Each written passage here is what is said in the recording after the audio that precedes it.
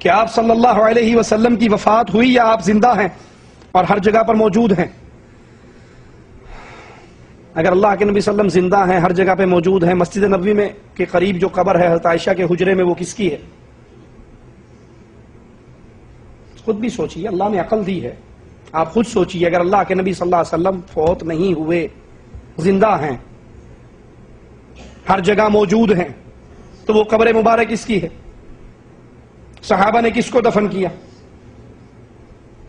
حضرت فاطمہ کس کے مرنے پر روئی؟ ابو بکر صدیق کس کے مرنے پر آنسو بہا رہے تھے؟ عمر فاروق کس کے مرنے پر کہہ رہے تھے جس نے کہا، میرا نبی مر گیا، میں گردن کاٹ دوں گا بلال کس کے مرنے پر مدینہ چھوڑ کر گئے؟ فاطمہ چھ مہینے تک کس کے مرنے کے بعد زندہ رہی اور کسی نے ان کے چہرے پہ مسکراہٹ نہیں دیکھی؟ وہ کون تھے جو فاطمہ کو اپنے قریب کر کے کچھ کہا؟ فاطمہ رونے لگ گئی۔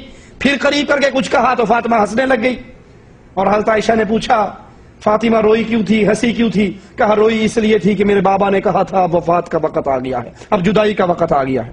اور ہنسی اس لیے تھی کہ نبی نے کہا تھا، میرے بابا نے کہا تھا، میرے خاندان میں سب سے پہلے تو مجھے آ کر ملے گی۔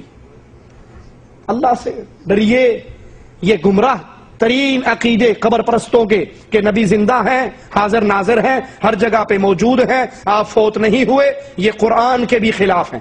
اور کہتے ہیں جی جس نے یہ کہا نبی مر گئے، وہ گستاخ ہے۔ سنا یا نہیں سنا؟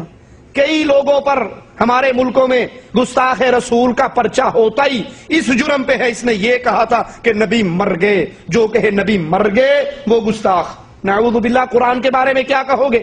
قرآن اللہ کے نبی کی گستاخی کرتا ہے قرآن اعلان کر رہا ہے۔ انکا میتون و انہم میتون اے نبی، آپ نے بھی مرنا ہے اور دنیا میں جو بھی آیا ہے وہ مرنے کے لیے آیا ہے۔ وما محمد الا رسول۔ قد خلت من قبلہ الرسل۔ آفا اماتا محمد صلی اللہ علیہ وسلم۔ گزرے ہوئے رسولوں کی طرح ایک رسول ہے آفا اماتا اگر یہ مر جائے، فوت کا لفظ نہیں۔ انتقال کا لفظ نہیں، وصال کا لفظ نہیں، موت کا لفظ ہے۔ آفا اماتا اگر محمد مر جائے، صلی اللہ علیہ وسلم۔ تو بتائیے، قرآن اللہ کے نبی کی گستاخی کر رہا ہے۔ اسی لیے وہ یار لوگ کہتے ہیں جی قرآن کی یہ آیت تو ٹھیک ہے، لیکن ہمارے مذہب کے خلاف ہے۔ اور بے وقوف جس کا مذہب قرآن کے خلاف ہے، قرآن سچا یا مذہب سچا؟ شیطان کا مذہب قرآن کے خلاف ہے، مسلمان کا مذہب قرآن کے مطابق ہوتا ہے۔ اگر قرآن کی آیتیں تیرے مذہب کے خلاف ہیں، قرآن کو چھوڑے گا یا مذہب کو؟ خود بدلتے رہی قرآن کو بدل دیتے ہیں کہ غلامی میں بدل جاتا ہے قوموں کا ضمیر۔